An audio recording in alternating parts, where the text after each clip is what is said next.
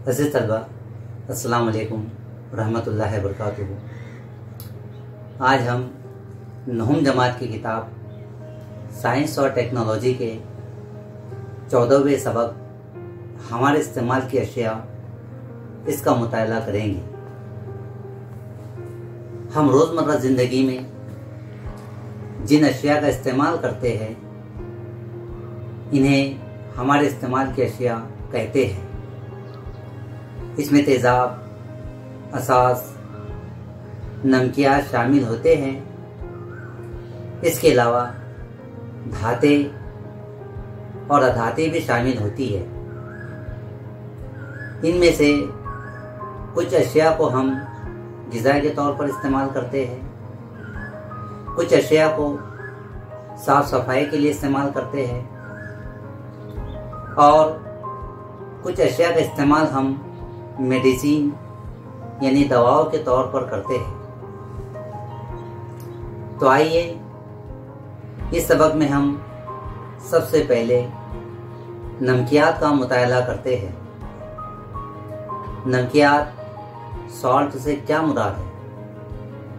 तमाम नमकियात आयनी मरकबात होते हैं, यानी इनमें एक मस्बत पॉजिटिव और एक मनफी निगेटिव आयन पाए जाते हैं।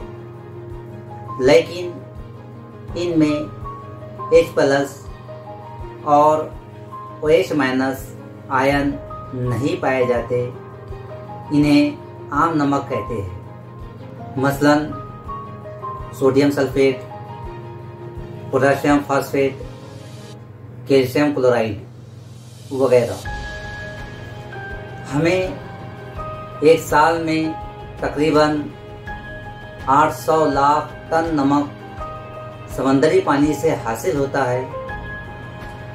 इसलिए समंदर को नमकियात का वसी मम्बा कहते हैं।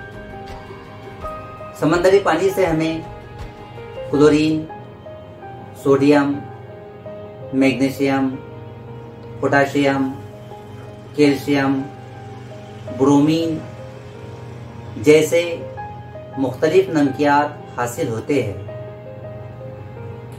अज़ीज़ तलबा इससे पहले हम मुताला कर चुके हैं कि मतदिल नमक की पीएच कद्र सात होती है।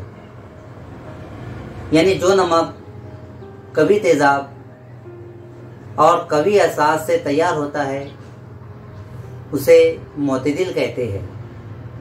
जबकि कभी तेज़ाब और कमज़ोर असास के ज़रिए तैयार शुदा नमक की पीएच कद्र सात से कम होती है और वो नमक तेज़ाबी होता है। और कमज़ोर तेज़ाब और कभी असास से बनने वाले नमक की पीएच कद्र सात से ज़्यादा होती है और वो नमक असासी होता है।